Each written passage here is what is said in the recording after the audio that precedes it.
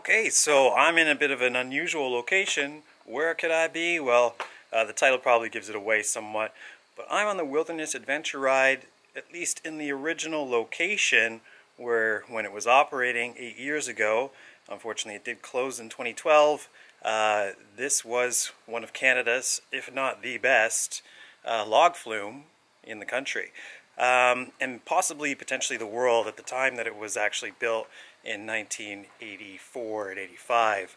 Um, so yeah, it has been closed for eight plus years now, and over time, as you're about to see, the uh, actual route of the log flume, while it has been turned into a trail of which you can follow most of the original path of the ride, uh, unfortunately, as you can see right behind me, we're at the uh, end of the of the route. So uh, this is actually where the original lift hill was to take you to the top of the drop, which was one of the most impressive things if you aren't really creeped out about animatronics, because inside there they had a lot of creepy animatronics that unfortunately got vandalized through time.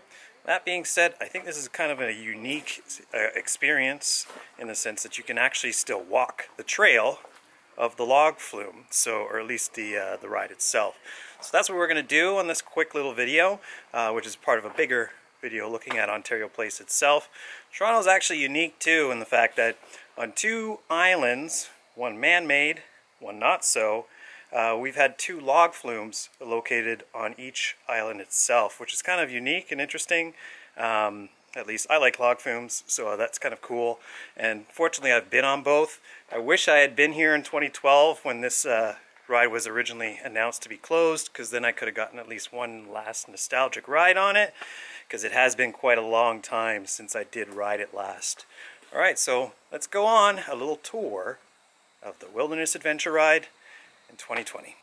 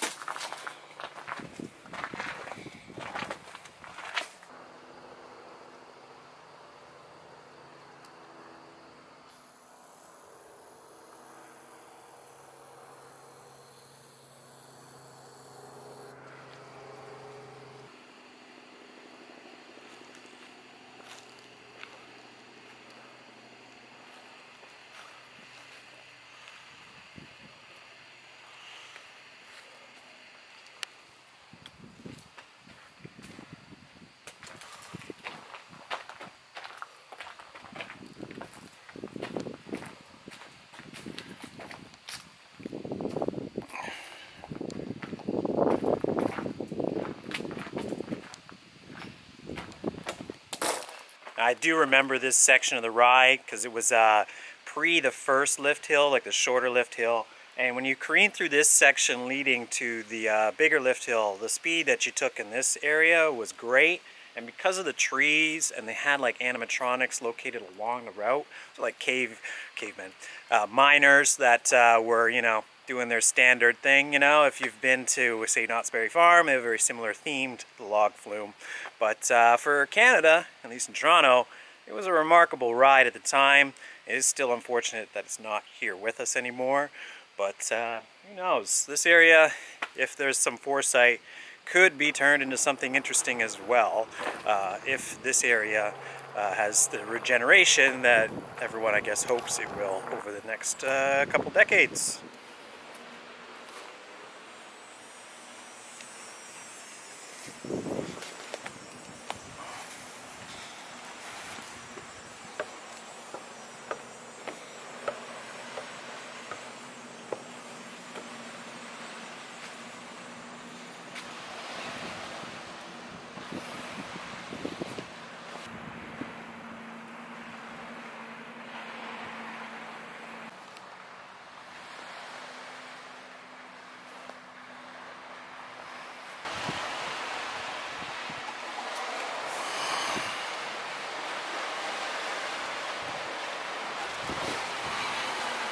So I'm actually in one of the lookout towers now uh, that you can still climb, which is really cool. I do like how like it's got a great view uh, on this side, and as I've sort of just tried to show you, there's a view of the original route down here where the log flume actually uh, went through. But you can see like the structures that they actually built for this ride to give you an impression.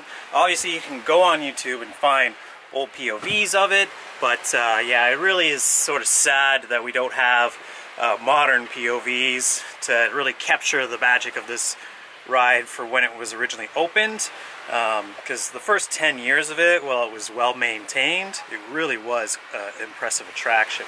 Um, but yeah, you know, unfortunately now it just doesn't exist as part of the larger story of Ontario Place itself. But uh, you can still come down here and have a bit of a feel, because yeah, here I am in the lookout tower doing my thing. I'm not really sure what it is. I'm not going to show you what's underneath me though, because because this is still open, there is a bit of stuff uh, inside this booth that I'm not going to show you. So a little bit of a warning uh, to watch yourself as I'm doing right now um, when you come down here.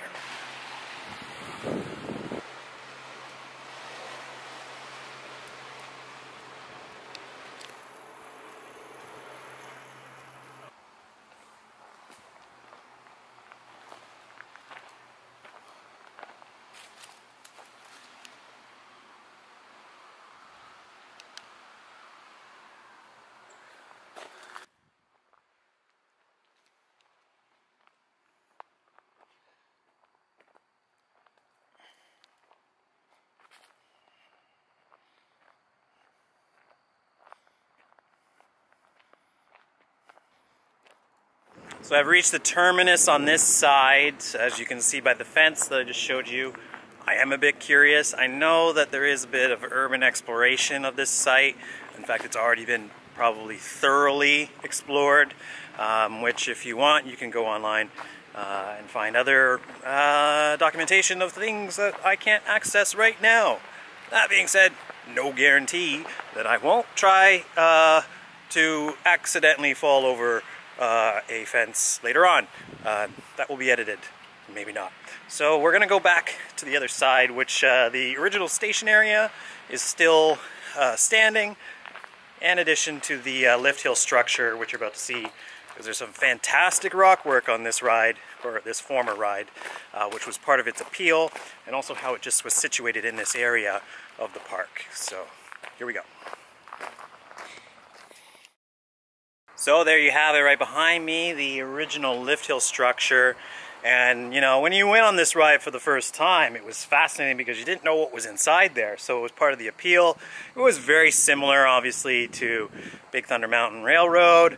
Uh, and the idea that you get an explosion at the top of the hill. But, uh, you know, at the time, it, for those of us that hadn't, say, been to Disney World at that time, or at least that it seemed like such a uh, far off option or possibility, we had a little piece of that here, which was cool, and Canadiana. It's unfortunate that, like, say, during the Pan Am Games uh, a couple years back, they didn't have this attraction still, which would have been, you know, an all-encompassing sort of uh, tale of what Canada was about, or at least, like, the frontier aspect of it. Um, I'm going through this cave, which originally, as you went up through, it's kind of creepy because inside there, there's, like, you know, darkness. Uh, it originally was like a, uh, some animatronics in there as part of the whole lead up to the ride. And uh, yeah, they're obviously not there anymore. But as you can see on this side, you've got the track that leads you to the final drop, which is just over there, which is where we're headed. Now, um, yeah, the more you explore this thing and just see, it's really a shame that a lot of the props and everything are still in place here. Uh, it's just, it doesn't really, I'm gonna do something a little scary here and I'm gonna have a look and see what's inside this hole.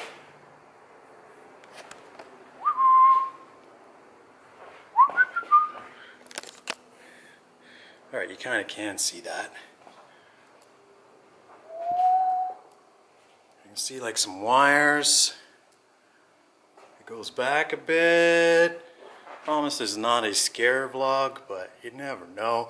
So what we're looking at here is the underneath of the original lift structure, because as you can see the angle of the lift hill, behind those boards is an access point to get in there. So I don't know what is exactly left inside the uh, lift hill structure itself, but with the condition of this place, I'm kind of thinking that there's a lot left in there still, because uh, there's a lot left here everywhere. Uh, also, this area is really very nice. It's beautiful. Like it always was an impressive little pocket of Ontario Place. Ontario Place is a really remarkably designed area that just didn't get the TLC that it needed over the years.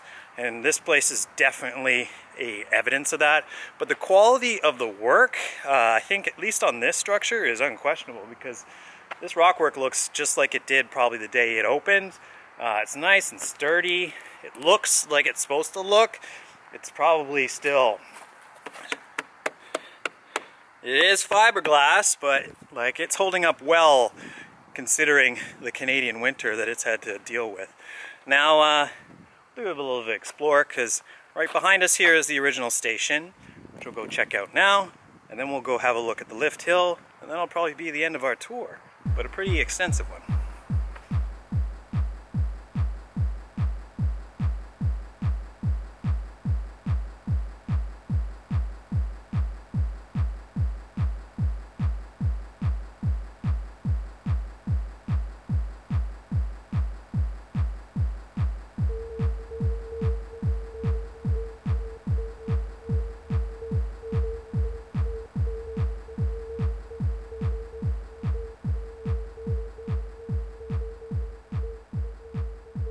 As you can see, there are still like troughs here for the original ride that are still here.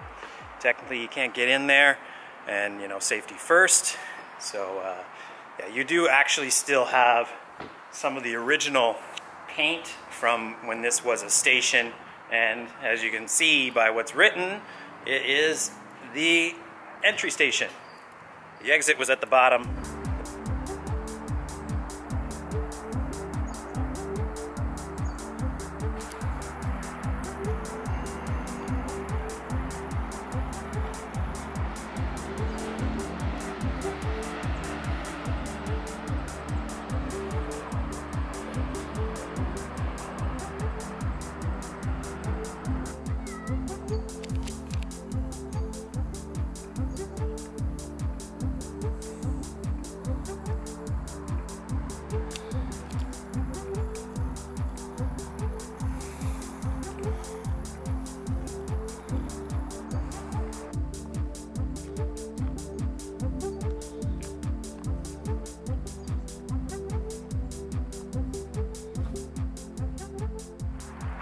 I have never been in a log flume trough before, but I'm in one right now.